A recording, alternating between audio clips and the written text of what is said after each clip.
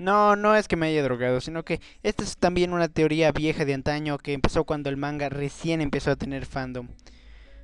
Ok, empecemos diciendo el contexto. Se crearon los nueve poderes titán, se abusó de ellos y ahora lo que queda de la humanidad está restaurada en tres muros. Los poderes titán fueron divididos y actualmente la coordenada es para el rey y los otros siete poderes para sus familiares y militares de confianza, excepto el atacante, que no se supo de su ubicación. Pero su actual ubicador es Grisha Jäger. Los Ackerman en esta realidad se pueden convertir en titanes. Aclarado esto, vamos. El titán simio se le fue dado al mejor soldado de la policía militar, Kenny Ackerman, y sus asociados.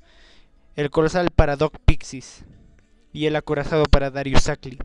El titán hembra se lo pasado a la familia monogámica, o sea, a la sobrina del rey. En este caso, la sobrina del rey es Annie Leonhardt. El, el residente actual del titán mandíbula y cuadrúpedo es desconocido, y el martillo de guerra es para otro rey. Muy bien. Ahora sí, de vuelta en el presente, la gente ha empezado a dejar de tenerle miedo a los titanes y a desconfiar del gobierno. Incluso hasta se ha llegado a construir una base afuera de los muros.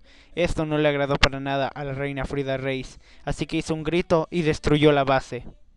Entonces era hora de provocar de nuevo el miedo en los habitantes. Así que mandó a Doc Pixis y Darius Sackley a destruir el muro. Y así pasó. Grisha se enteró de todo esto y fue y le robó el poder a los reyes. Y de aquí todo pasaría similar a la historia original. Eren sería devorado y mostraría su poder. Entonces Pixis quería comprobar si era la coordenada y le dio a Eren una misión, tapar el muro. Aparentemente no lo es.